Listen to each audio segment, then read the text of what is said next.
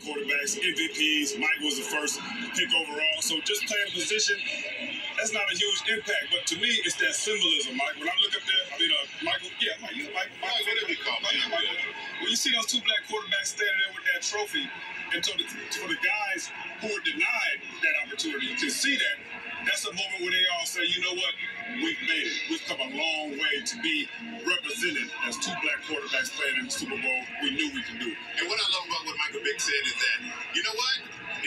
Don't change your game. Be who you are. Play the way you play. We've seen the game evolve. We talked about the evolution of the game.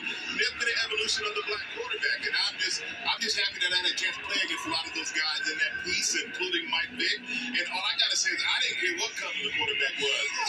Why, whatever. I wanted to hit you. And I hit you as hard as I could. So that's all that matters. Your teammate, you don't care what color your quarterback is, as long as they help you win. And that's the great thing about football. It together to become one. Color is not a factor, and especially when you're trying to sack somebody.